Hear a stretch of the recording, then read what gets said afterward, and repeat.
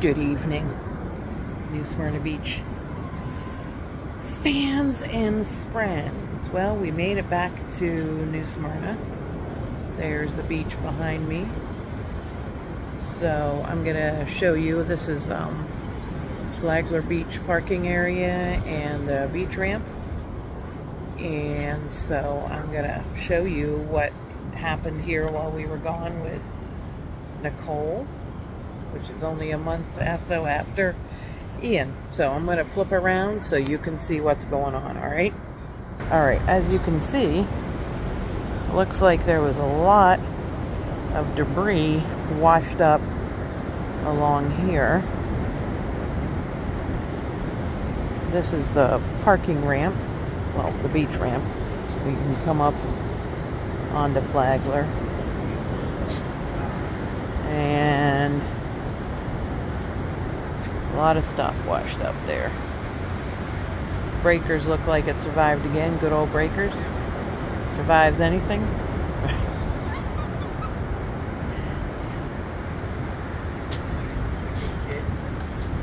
and heading up the street here. Um, looks like there's going to be a good bit of cleanup still. Um, you can see one of the gates and all that debris that's washed up. It's just insane. And here we go looking down Flagler Avenue. So, looks like stores are open, restaurants are open, which is amazing. I have to fix this, unfortunately. But, beach doesn't look too bad.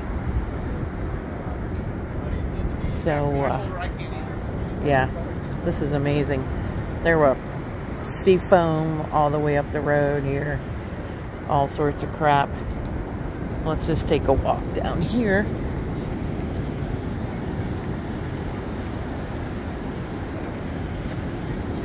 And see what we can find.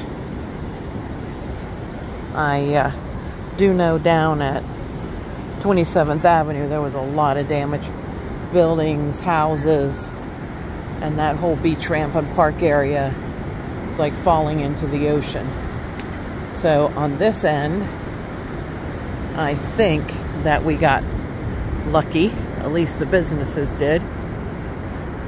You can see with the seawall here, it's kind of a nice evening out, but uh, a lot of debris and trees and oh look, the sandcastle made it. No, I think that was built today.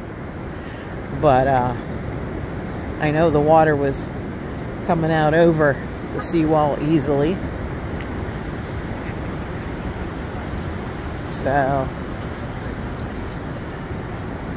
yep, there's got some surfers out there. I mean, really, when you look around, you wouldn't necessarily know, apart from all the stuff that's on the railings, that much had happened. But this was pretty rough. And like I said, farther down, it's bad. And farther up north, up uh, north in uh, Wilbur by the sea and Daytona Beach shores, they got nailed. And a lot of places are deemed in, uninhabitable.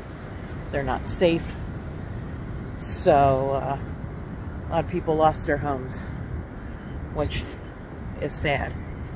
Um, you know, we had a good bit of water at Quail Hollow, but luckily it did not get into anybody's homes this time. So we were very fortunate. We spent the week hiding away at Disney using our vacation club points. Yep. But you know, hey, it's it's all good. So let's see here. There's the lifeguard tower which actually is showing a little bit more than what it used to since it most of it washed away. Um, looks like the bee safety office is still there. Unfortunately, the one in Daytona ended up in the ocean. That didn't work out so well, but you can see here even the dunes on the top have washed away and it's just interesting. You get to see so much of what you never usually get to see because of the dunes, which are gone. So we are just walking down this way just a little bit. And right now it must be low tide. I didn't look at the tide charts today. But you can see here that uh, there's no steps at all. They are gone. And uh, I don't know. A lot of palm trees. And looks like Toni and Joe's is already starting to build their steps back up, which is nice. Fence kind of blew in, but they're still going. It's amazing. Still a little mangrove there. And looking down, it's pretty beautiful. Oop, sorry. Trying to change. Going. There we go. So uh, we're hoping uh, this won't be too bad, but even the uh, intercoastal waterway, it uh, flooded out one of my favorite restaurants, which is the River Deck, and that's my mom's favorite too. And they had about a foot of water over their decking, which normally is about three feet below that.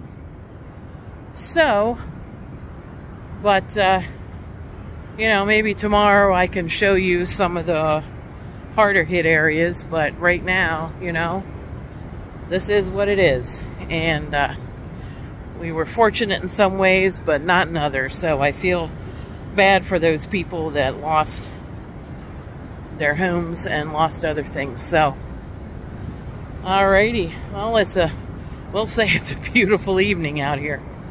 And uh, we all went, came through it. Um, you know, things can be rebuilt houses, condos, but people's lives cannot. So we'll just see. So I'm going to leave you with a few vision of that beautiful ocean going on there. It's a lot calmer than what it was.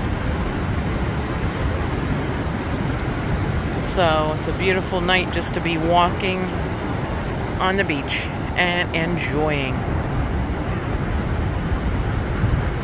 So there we go. A little bit of breakers there. I can't believe that thing has been through so much. And it comes out smiling. Yep, one of my favorite places to get burgers. Best burgers in the world. They have the best Hawaiian burger, barbecue sauce, cheese, pineapple. Mm-hmm. Pretty yummy. Oh, it feels good to be able to walk on the beach, let me tell you. So, uh, I think they only lost a tiny bit of their deck. And that's about it. So, alrighty. Tomorrow maybe I'll do some uh, stuff a little farther south. Um, but right now we're all doing pretty good. So, Thanks for watching and give me a thumbs up if you like this video and subscribe. And we will see you soon. All right. Love y'all. Bye.